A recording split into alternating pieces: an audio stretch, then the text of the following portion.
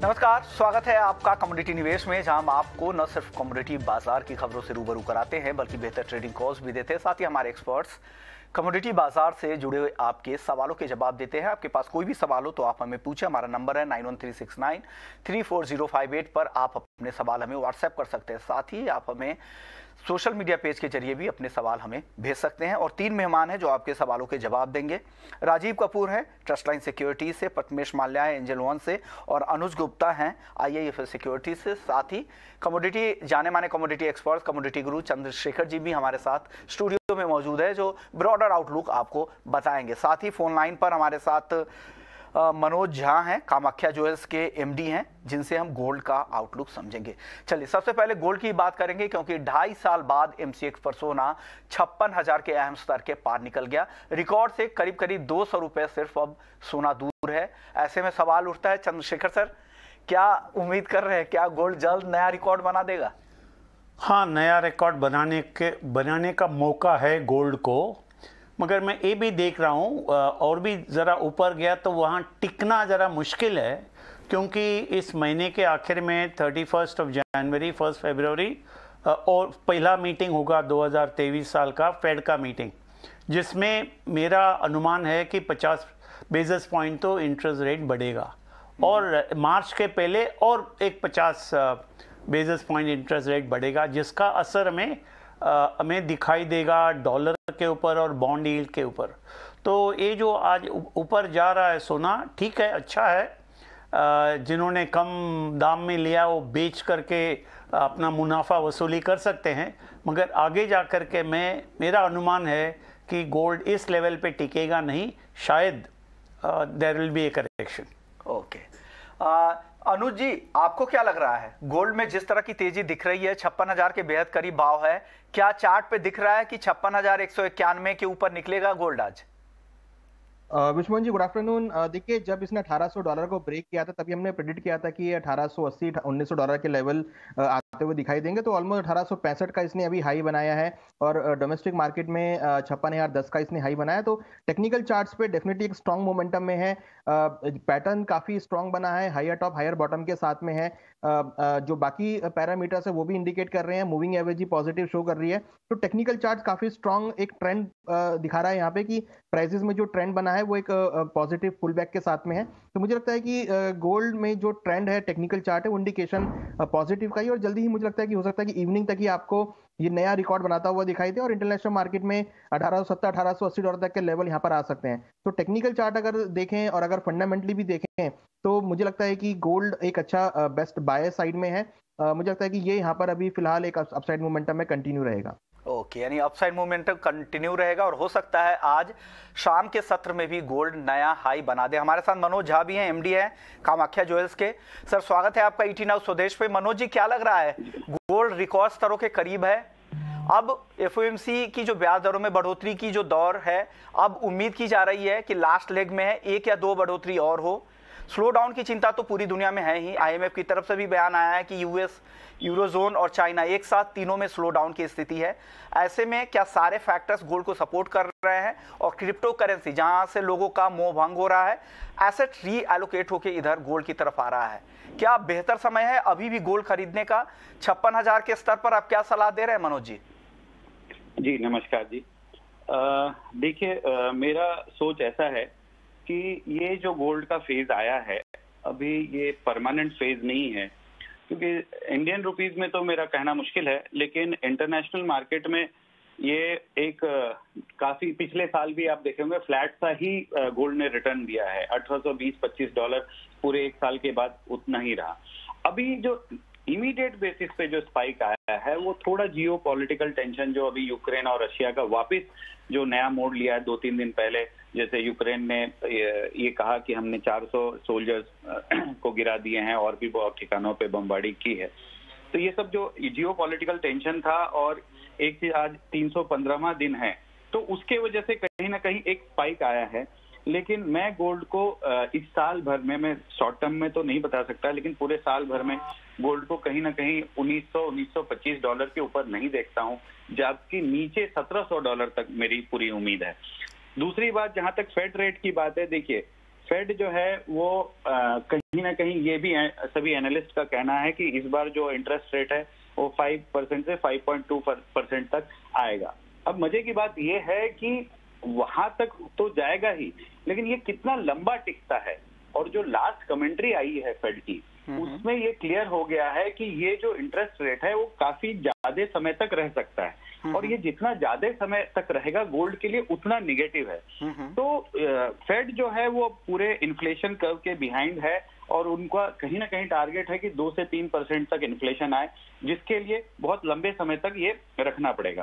तो मुझे कोई भी गोल्ड में एक जियो पॉलिटिकल टेंशन छोड़ के कोई भी ऐसा न्यूज़ नहीं दिख रहा है जो गोल्ड को कोई बहुत बड़े तेज़ी में लेके जाएगा। ये तो इंडियन हम्म। रुपीज़ इतना डिप्रिशिएट हो गया है जिसके वजह से आपको इंडिया में रिकॉर्ड हाई दिख रहा है। नहीं तो आप गोल्ड देखिए पिछले अढ़ाई साल में तो कुछ गोल्ड ने रिटर्न दिया ही नहीं है। At the same time silver मुझे लगता है कि कहीं ना कहीं गोल्ड के सामने आउट परफॉर्म करेगा उसके बहुत सारे रीजन है। ओके यानी चांदी आउट परफॉर्म कर सकती चांदी पे आपसे एक सवाल लेंगे मनोजी आप बने रहिए। चंद्रशेखर सर भी स्टूडियो में है हमारे साथ। सर क्या लग रहा है मनोजी जैसा कह रहे हैं एक तो वॉर प्रीमियम इस भाव पर दिख रहा है दूसरा डॉलर में कमज़ोरी भी आ गई है डॉलर इंडेक्स इतना कमज़ोर हो गया लेकिन उस तरह की मजबूती रुपए में नहीं दिख रही है। तो रुपए का भी यहाँ पर प्राइस में प्राइस दिन दिख रहा है गोल्ड के भाव में क्या लग रहा है ये सारे? अगर ये दोनों फैक्टर अगर हटने से फिर क्या गोल्ड के भाव नीचे आ जाएँगे क्या? क्या ये आशंका बनी हुई है? राइट. Uh, हमें uh, दर्शकों को कुछ गाइडेंस देना है शॉर्ट टर्म के लिए तो मैं मानता हूँ कल सुबह तक इंतज़ार करना चाहिए क्योंकि आज uh, हमारे लगभग मिडनाइट तक फेड का जो मीटिंग हुआ था उसका मिनट जो दिसंबर में मीटिंग हुआ था उसका मिनट्स आज वहाँ से दोपहर को दो बजे पब्लिश होगा। फॉर इट बी लगभग मिडनाइट ओके तो उसमें क्या गाइडेंस आने वाला है? आ, उस उस आधार पर ही गोल्ड का आगे का रुख रहेगा। This is number one but generally सब लोग ये मानते हैं कि जो फेड चेयर का स्टेटमेंट तो बहुत साफ़ है कि इतना आसानी से कि आसानी से महँगाई पर काबू नहीं आ, आ, आ, ला पाएँगे। तो इसके वजह से और भी अभी ज़रा चिंता है कि जो इंटरेस्ट रेट दो बार बढ़ेगा इस क्वार्टर में वो आगे जा कर के क्या अगला क्वार्टर में रुक जाएगा या अगला क्वार्टर में और भी एक बार बढ़ सकता है। उसका काफ़ी अनिश्चय है। तो आई थिंक मुझे लगता है एक दिन तो हमें इंतज़ार करना चाहिए। कल सुबह तक फेड का जो फॉरवर्ड गाइडेंस है, वो साफ़ हो जाएगा और ज़रूर उसका असर हमें गोल्ड मार्केट का ऊपर दिखेगा। ओके। okay. अब मनोज जी, अब चांदी की आप बात कर रहे थे। चांदी आपको ज़्यादा बेहतर यहाँ पर दिख रही है। सत्तर हज़ार के ऊपर चांदी है। इन स्तरों पर क्या सलाह है? क्या लग रहा है? चांदी में कितनी तेज़ी की उम्मीद करे इस साल? सर ओवरऑल चांदी में तो मुझे तेज़ी दिखती है। देखिए लास्ट ईयर भी गोल्ड फ्लैट रहा इंटरनेशनल मार्केट में, लेकिन चांदी ने दो से तीन परसेंट तक का अपने आप को रिटर्न दिया है। पिछले और इन सब चीज़ों को देखते हुए, देखिए डिमांड भी पूरे वर्ल्ड वाइड गोल्ड की कमी आई है। और पूरे वर्ल्ड में जो इन्वेस्टमेंट डिमांड है, वो भी कहीं ना कहीं 200-300 टन की नीचे नीचे खरीदारी हुई है लेकिन चांदी में अगर आप देखेंगे इंडस्ट्रियल बाइंग की वजह से जो नए नए टेक्नोलॉजी बहुत सारे जैसे आपकी गाड़ियों में है, और भी बहुत सारी चीज़ों में है तो चांदी की ओवरऑल बाइंग जो है ना more than thirty to forty percent तक जो है बढ़ गई है तो मुझे ऐसा लगता है कि एक्चुअली चांदी हमेशा गोल्ड के साथ थोड़ा चलता है तो बीच बीच में कभी दबाव आएगा। और उस समय जब दबाव आएगा तो खरीदारी करनी चाहिए जब भी थोड़ा सा गिरेगा। लेकिन ओवरऑल चांदी यहाँ से साल के एंड तक 2000 के तेईस के एंड तक मेरे को लगता है कम से कम 20-25 परसेंट का रिटर्न ज़रूर देगा। ओके okay, 20 से 25 परसेंट का रिटर्न और इस साल भी घरेलू बाज़ार में 11 परसेंट से ज़्यादा का रिटर्न चांदी ने दिया है। और मनोज जी को लगता है कि चांदी यहाँ से आउट परफॉर्म गोल्ड को कर सकती है और बीस से पच्चीस के रिटर्न की उम्मीद है। शुक्रिया मनोज जी आपने वक्त निकाला हमारे लिए। जी जी धन्यवाद चलिए एक राज है राजस्थान से चंद्रशेखर सर आपसे सवाल होगा। ये जानना चाह रहे कि चांदी में कितनी तेज़ी की संभावना 2023 में दिख रही है? आ, मैं मानता हूँ चांदी में कम से कम 10 से 12 प्रतिशत तेज़ी आना चाहिए। ये, ये मेरा अनुमान है। और ये आज का स्थिति में ऐसा है और इसमें खास वजह है आ, कि चांदी का जो मार्केट है इट इज़ इन डेफिसिट यानी छः हज़ार टन का डेफिसिट है मार्केट में, यानी डिमांड ज़्यादा है सप्लाई कम है तो सिक्स सिक्स थाउज़ेंड टन का डेफिसिट एक कारण है।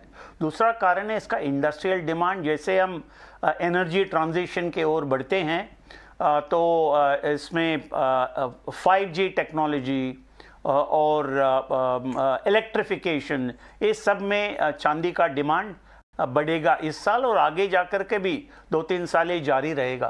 तो मैं इस साल का आखिर में अभी जो 24 डॉलर है प्रति आउंस धीरे धीरे 25, 26, 27 डॉलर तक जाने का संभावना मैं देख रहा हूँ।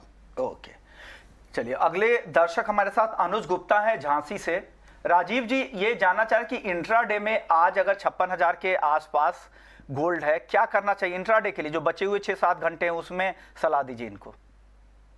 नमस्कार मुझे लगता है कि ही ट्रेड डालना चाहिए। एक बार छप्पन हज़ार एक सौ पचास तक के स्तर भी देखने को मिल सकते हैं। और काफ़ी चांसेस हैं कि आज एक बार गोल्ड जो है छप्पन हज़ार एक सौ के स्तर को छू सकता है। तो जब, जो भी करेक्शन मिले, उसमें खरीदारी करें। स्टॉप लॉस आज आज के जो निचतम स्तर है, उससे थोड़ा सा नीचे लगा के रखें। ओके स्टॉप लॉस ज़रूर लगा लीजिएगा कि एक लंबी रैली आ चुकी है। तो हो सकता है कि तेज गिरावट भी ना देखने को मिले, इसलिए स्टॉप लॉस के बिना ट्रेड नहीं करें। पीयूष का मथुरा से सवाल था, चांदी में आज क्या करना चाहिए? प्रथमेश जी, क्या करना चाहिए चांदी में आज इंट्राडे के लिए? मेरे ख्याल से गोल्ड और सिल्वर दोनों ही कमोडिटी एक रेजिस्टेंस जोन पर है। तो पॉसिबल में यहाँ पे थोड़ा कॉन्ट्रा ट्रेड लेना की प्रेफरेंस रहूँगा बिकॉज़ ये इंट्राडे ट्रेड है कैरी फॉरवर्ड नहीं करना है। सत्तर हज़ार आठ सौ पे सेल करने की सलाह रहेगी। सेवेंटी वन सिक्स फिफ्टी का स्टॉप रहेगा। Target sixty nine one hundred के लिए रहेंगे अगले दर्शक भी हमारे साथ गोल्ड पर ही है। इनका सवाल है कि गोल्ड कब तक नीचे आएगा? कब तक खरीदारी का मौका मिलेगा? केशव है, कांगड़ा, हिमाचल प्रदेश से। अनुज जी, क्या लग रहा है, कब तक इसमें गिरावट आएगी? ये एंट्री करना चाहते हैं, लगता निवेशक है ये। देखिए अभी फ़िलहाल तो एक पॉजिटिव साइड में है। गिरावट अगर मिलती है तो नीचे आपको पचपन, चार सौ, पचपन, पाँच सौ तक गिरावट अगर मिले तो वहाँ खरीदारी का ट्रेड बना सकते हैं। ऑलरेडी हम देखें तो यहाँ पे काफ़ी अच्छा रनअप देखने को मिल रहा है। तो अगर इनको चार सौ, पाँच सौ रुपये का डिप मिलता है तो वहाँ पे एक्यूमुलेट कर सकते हैं। हमें लगता है कि जल्दी ही ये ऊपर में आपको छप्पन, पाँच सौ, सत्तावन तक के लेवल और अठारह सौ अस्सी से लेकर उन्नीस सौ डॉलर के लेवल दिखा सकता है। सिल्वर माइक्रो पर जानना चाह रहे हैं। राजीव जी सिल्वर माइक्रो पर क्या सलाह है इनके लिए? देखिए silver micro almost I think same price के आसपास ही चल रहे हैं तो हमारी तरफ़ से बाइंग की ही सलाह रहेगी। अराउंड सत्तर हज़ार तीन सौ के आसपास खरीदना है ट्रेड उनहत्तर हज़ार आठ सौ का स्टॉप लॉस रखना है इकहत्तर हज़ार का टारगेट लगाना है। अगले दर्शक है पवन है कानपुर से। जिंक में आज क्या करे? प्रथमेश जी जिंक में क्या करना चाहिए आज? हाँ सर जिंक में मेरे ख्याल से यहाँ पे कुछ खास अपॉर्चुनिटीज़ दिखाई नहीं दे रही है तो बेटर है कि यहाँ पे कोई ट्रेड ना करे। जिंक में कोई खास मोमेंटम नहीं है। इसके बंसल है ग्वालियर से। अनुजी अल्मुनियम में क्या सलाह है इनके लिए? देखिए बेस मेटल में हमने थोड़ा डाउनसाइड प्रेशर आते हुए देखा है। तो आज के लिए मुझे लगता है कि बेस मेटल में थोड़ा डाउनसाइड रहेगा। अगर हम बात करें एल्युमिनियम की तो यहाँ पर हमने कल एक अच्छा फॉल आते हुए देखा हमें लगता है कि यहाँ पे बिकवाली का ट्रेड बना सकते हैं। हमें लगता है कि नीचे एक बार दो सौ तक के लेवल आ सकते हैं। तो आज पर्टिकुलर इंट्राडे के लिए सभी बेस मेटल में एक सेलिंग की सलाह रहेगी। ओके अगले दर्शक है कृष्ण है। दिल्ली से कॉपर में क्या करना चाहिए? राजीव जी क्या करे कॉपर में? आ, मैं बिल्कुल अनुज जी के साथ सहमत हूँ। मुझे भी ऐसा लगता है कि थोड़ा बेस मेटल्स पे दबाव रह सकता है एक दो दिन के लिए। तो कॉपर में 720 के आसपास बिकवाली कर सकते हैं 724 के स्टॉप लॉस से 712 के टारगेट के लिए। अब अगले दर्शक है क्रूड पर। जितेंद्र है गांधी धाम से, छह हज़ार चार सौ पचासी रुपए में को क्रूड खरीदा है और एक और दर्शक क्रूड पर ही है, विशाल है सूरत से। इन्होंने छह हज़ार छह सौ उन्नीस रुपए में खरीदा है। दोनों की खरीदारी है। आज काफ़ी गिरावट दिख रही है, छह हज़ार दो सौ पचास के आसपास फिर चल चुका है भाव। प्रथमेश जी, क्या सलाह है? क्रूड में क्या करना चाहिए? मेरे ख्याल से इनको ये वोलेटाइल काफ़ी ज़्यादा काउंटर है। ये वापस 6450 के आसपास एक उछाल दिखा सकता है, वहाँ पे एग्जिट करने की सलाह रहेगी। ऑल्टरनेटिवली अगर कुछ कुछ करना है आपको करोड़ में तो जनवरी वायदा जनवरी कॉन्ट्रैक्ट का 7000 स्ट्राइक प्राइस का कॉल जो है खरीदना चाहिए। फोर्टी टू रुपीज़ का प्रीमियम पे मिल रहा है। स्टॉप लॉस रहेगा नाइन रुपीज़ का और टारगेट रहेगा हंड्रेड एंड टेन रुपीज़ के लिए। राजेश है फरीदाबाद से। क्रूड ऑप्शंस की रणनीति जानना चाह रहे हैं। अनुजी ऑप्शंस में कुछ है क्या कॉल देखिए ऑप्शंस में अगर हम बात करें तो मुझे लगता है कि जो क्रूड में अगर देखें तो करीबन छह हज़ार का जो पुट ऑप्शन है उसमें खरीदारी का ट्रेड बना सकते हैं। हमें लगता है कि प्राइजेस जो हैं वो अभी और नीचे की तरफ़ आएँगे तो उनको पुट में बेनिफिट देखने को मिलेगा। अगर हम उसके प्रीमियम की बात करें तो जो पुट ऑप्शन है छह हज़ार का वो करीबन एक के आसपास चल रहा है। उसमें खरीदारी का ट्रेड लें, हमें लगता है कि ऊपर में दो सौ तक जा सकता है। तो 143 में छह हज़ार का पुट ऑप्शन में खरीदारी का ट्रेड बना सकते हैं। गिरावट दिख रही है छह हज़ार के फुट ऑप्शंस खरीदने की सलाह है। चंद्रशेखर सर क्या लग रहा है कच्चे तेल में क्या हो रहा है? कल भी तेज गिरावट दिखी आज भी ये गिरावट चल रही है। क्या ग्लोबल मंदी की चिंता यहाँ पर सता रही है? या जिस तरह से इन्फेक्शन वहाँ पर कोरोना के बढ़ने शुरू हो चुके हैं चीन में रीओपनिंग के बाद से उसका डर है? बिल्कुल। एक्चुअली uh, एक अभी टग ऑफ़ वॉर चल रहा है। एक है एक तरफ़ है डिमांड कंसर्न्स दूसरा तरफ़ है सप्लाई रिस्क ओके तो इसके बीच आज का माहौल में ये जो डिमांड कंसर्न है, वो ज़्यादा है।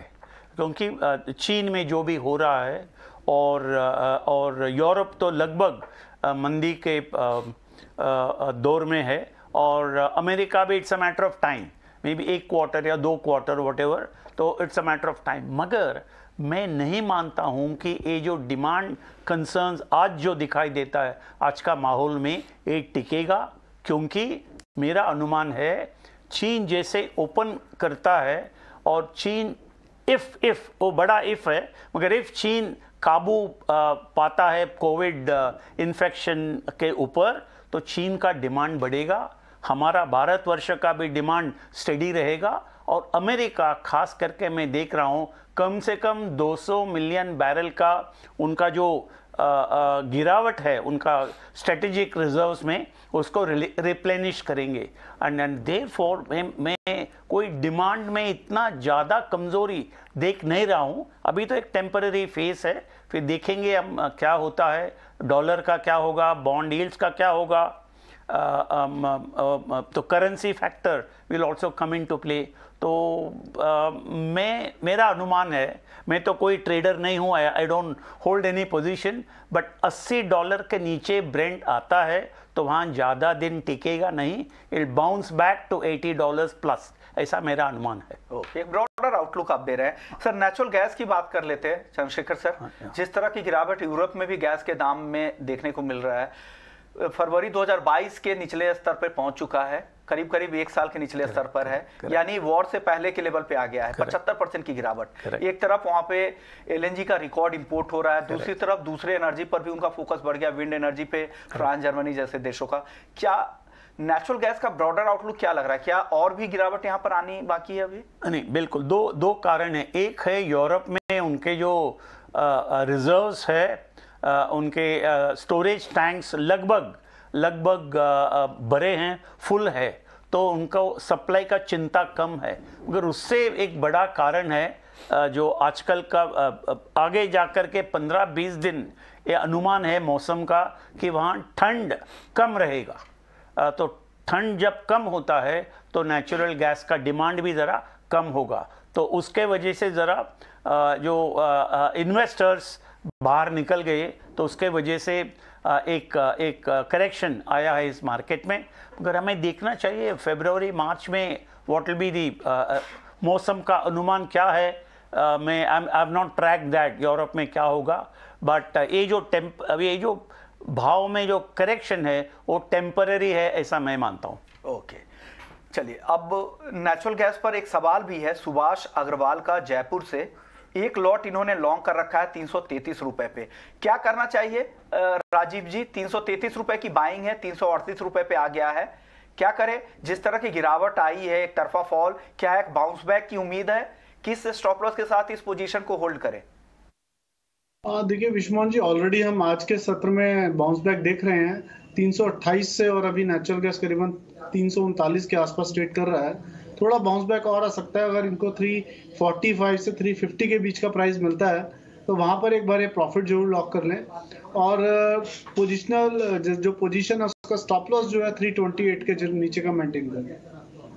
मोहम्मद फरहान है, रामपुर से मेंथा ऑयल में क्या करना चाहिए? मेंथा में अच्छी तेज़ी अब धीरे धीरे दिखनी शुरू हो गई है। अनुज क्या लग रहा है? मेंथा में क्या करें? देखिए मैंथा ने आज ही कॉन्ट्रैक्ट हाई बनाया है करीबन एक हज़ार बावन का। मुझे लगता है कि मैंथा में जो हम टारगेट कर रहे हैं करीबन एक हज़ार अस्सी से ग्यारह सौ का लेवल वो इस महीने में देखने को मिल सकता है। तो खरीदारी की ही सलाह रहेगी यहाँ पर बाई कर सकते हैं। एक हज़ार पच्चीस पर स्टॉप लॉस लगा है टारगेट एक हज़ार अस्सी तक देखने को मिल सकता है। अगले दर्शक है रामदेव है राजस्थान से। कॉटन में तेज़ी आएगी क्या? ब्रॉडर आउटलुक जाना चाह रहे चंद्रशेखर सर। कॉटन को लेकर क्या लग रहा है? हाँ मैं मानता हूँ कॉटन का जो तेज़ी का दौर था वो ख़त्म हो चुका है।